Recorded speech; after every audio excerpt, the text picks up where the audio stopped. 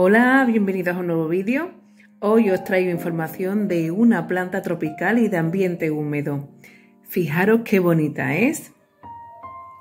Para mí es una de las más hermosas y bellas que existen. Y además, últimamente está muy de moda. Es una planta muy demandada en la floristería y en los viveros. ¿Qué os parece? ¿Os va a gustar más? Sí, os digo que es muy fácil de cuidar. Y además, para aquellas personas impacientes que quieren ver crecer muy rápido las plantas, esta es la suya, porque es una planta muy eh, de crecimiento muy rápido.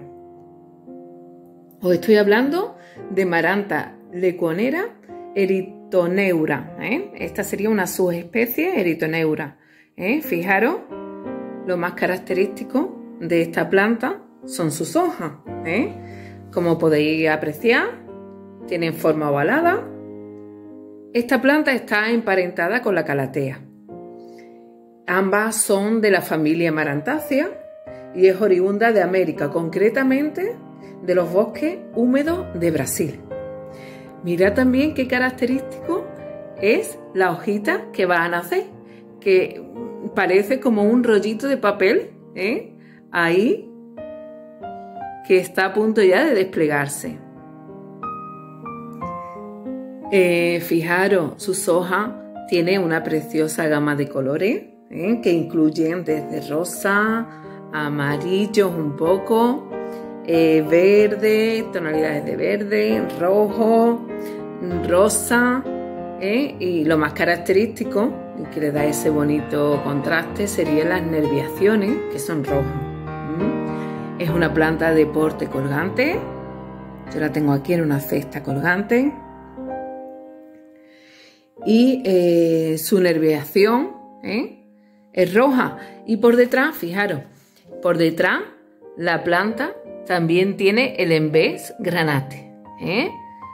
Por el haz es eh, tonalidad de, esta gama de colores y por el embés es granate.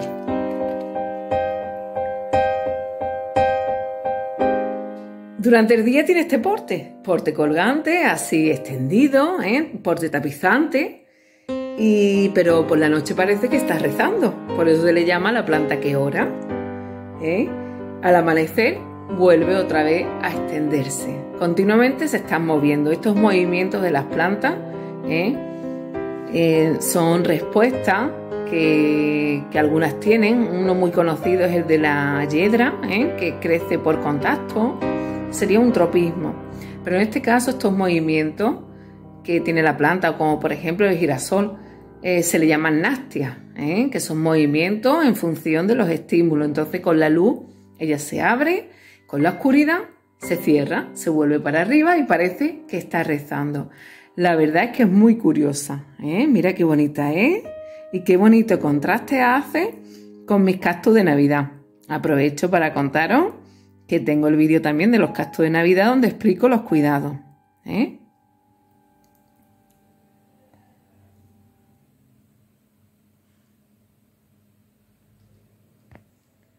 Sus cuidados son muy sencillos. Comenzamos con la ubicación. Debe colocarse en un lugar umbrío y luminoso. No toleran el sol directo ni corriente de aire. ¿eh? Yo la tengo en este rinconcito de mi patio y ya fijaros que os digo que necesita un trasplante porque son plantas de crecimiento muy rápido y necesita un, trasplante. que voy a esperar un poco más de tiempo para hacerlo. ¿Eh? Eh, a ver, se podría hacer en esta época, ¿eh? no hay que esperar que llegue la primavera para hacer el trasplante, porque mm, yo es que veo que tiene ya un tiesto un poco pequeño. Entonces, lo necesita. No toleran el sol directo ni corrientes de aire, como he dicho anteriormente, y este es un, un lugar apropiado porque fijaros, eh, estáis muy resguardadita ¿eh? Y además por la noche yo suelo echar el tordo. Mira, este patio mío es, como un patio más bien tropical, ¿eh? porque aquí crecen muy bien, en esta parte crecen muy bien las plantas de ambientes húmedos, porque es un patio que es un brío durante el invierno, no, llega un poquito de sol, es decir, cuando ya llega la primavera se viene el sol. Entonces, claro, aquí crecen muy bien las kentias, los helechos, ¿eh? como podéis apreciar, los spatifilum. ¿eh? Entonces, toda esta gama de, plantas crecen aquí estupendamente porque tienen como las condiciones necesarias de su hábitat natural, ¿eh? un ambiente húmedo.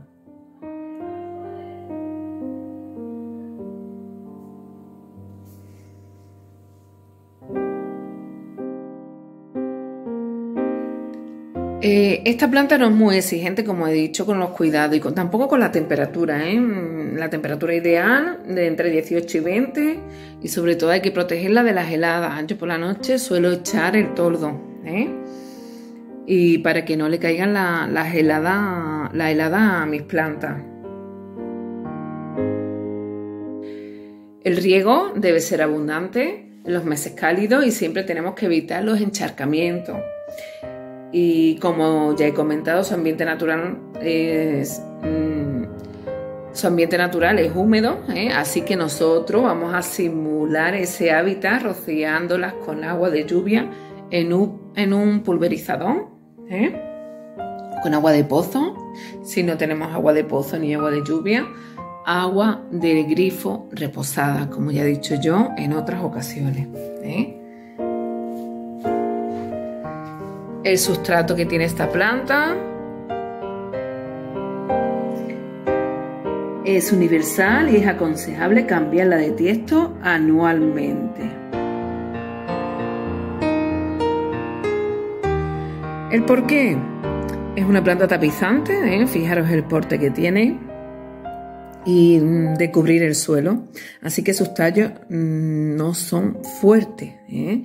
Como podéis ver, sus tallos son más bien finitos.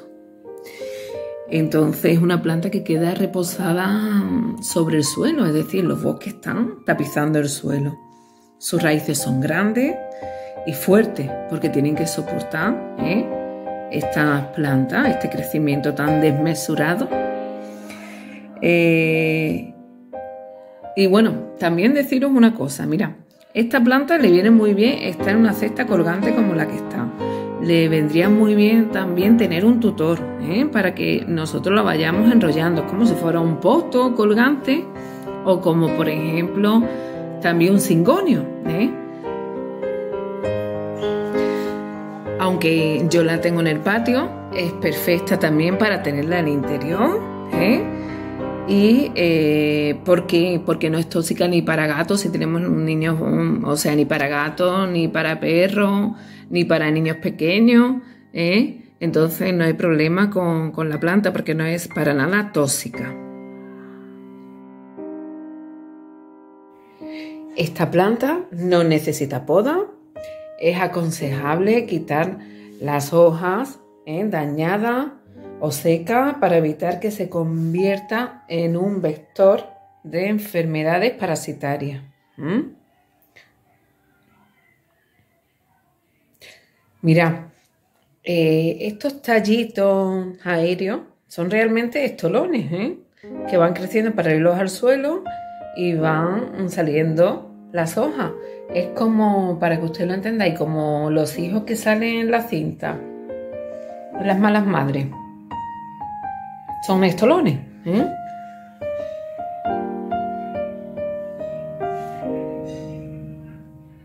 Así que si cogemos un trocito de estolón o esqueje, ¿eh? se, se divide muy fácilmente. En cuanto a plagas y enfermedades, comentaron que es susceptible de ser atacada por cochinilla algodonosa, ¿eh? que ya sabemos cómo debemos actuar con un algodón impregnado en alcohol y si no sale con un insecticida ya de acción más fuerte, a los ácaros, a la, araña roja, ¿eh? Eh, cuando sobre todo está en un ambiente muy seco, también si vemos que las hojas están muy desteñidas, ¿eh?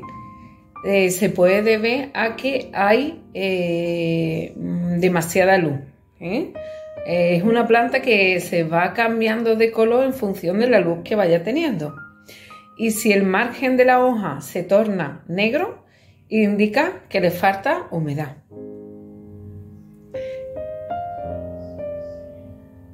Estamos ante una planta que destaca por sus hojas y no por sus flores. ¿eh? Las tiene, pero muy poquito desarrolladas y lo que hace es formar unas espiguitas muy pequeñas. Bueno, y como curiosidad, ¿eh? comentaron que hay una especie, es una amaranta, pero concretamente es la amaranta arundinaceae, que de sus estolones se extrae el almidón, ¿eh? usado como alimento. Ya sabéis que hay muchos mm, alimentos que contienen almidón.